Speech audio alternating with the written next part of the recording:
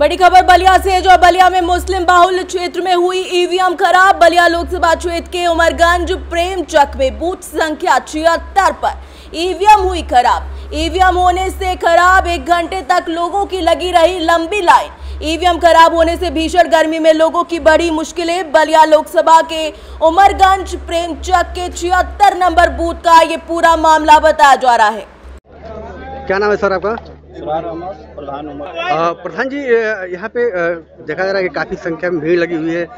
क्या मतदान शुरू हो गया है क्या यहाँ पे? भी नहीं हुआ है अभी तो शुरू भी नहीं हुआ एक भी वोट नहीं हुआ सतहत्तर नंबर बूथ का मशीन खराब है। कब से ये मशीन खराब है? जब से शुरू हुआ है एक भी वोट नहीं अभी समय कितना हो रहा है? एक घंटे हो गए आठ बज रहा है। एक घंटे। क्या कोई अब, इसमें कोई अधिकारी आया निर्वाचन अधिकारी? दो मशीन बदली गई लेकिन अभी सही नहीं होगा मशीन बदलने के बावजूद भी ठीक नहीं है। अभी सही नहीं कितनी दिक्कत हो रही है यहाँ पे? बहुत दिक्कत है अंदर जाके भीड़ देखिए लाइन लगा हुआ है लोग परेशान हैं। परेशान हैं। ये कौन सा ये इलाका है अभी? ये बहेरी प्रेम चक है। जी। मुस्लिम बाहुल्य है। लग नहीं रहा है आपको देख के? तो अभी कोई अधिकारी देखने नहीं आया? आए हैं आए हैं। अधिकारी आए हैं वो तब से प्रयासरत हैं लेकिन सही नहीं हो पा रहा है। नहीं हो रहा चेंज भी हुआ तब भी सही नहीं हुआ। क्या क्या नाम है आपका? आ, सुरेश जी अभी आप मतदान करने आए हैं। क्या व्यवस्था है यहाँ पे? व्यवस्था तो सही है मगर कहने का मतलब है जो छिहत्तर और सतहत्तर नंबर की जो मशीन है वो लेके बोल रहे कि आधा एक घंटा लगे।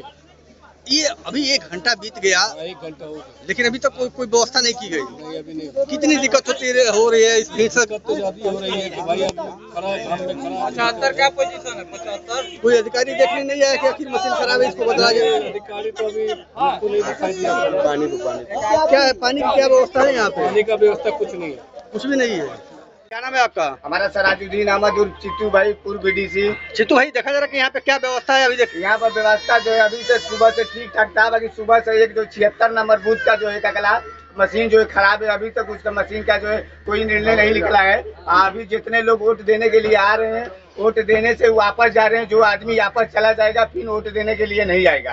इसलिए अभी हमारा वोट जो है पोल हमारा जो खराब है हाँ वोट देने लोग नहीं आ पाएँगे। तो क्या कोई प्रशासनिक अधिकारी देखने आया कि क्या व्यवस्था कोई देखने लिए नहीं आया अभी तक। और जो है कोई कर्मचारी जो अभी तक कोई काम नहीं कर रहा है उसके अंदर वो आदमी अंदर से जाकर आपस आ रहा है। वोट नहीं उस पर पोल हो रहा है। वोटर सारे जाके व्यवस्था क्या है? व्यवस्था में कोई कमी नहीं है। हमारी प्रशासन जो है अपनी टाइट रखा हुआ है। शासन में कोई कमी नहीं है।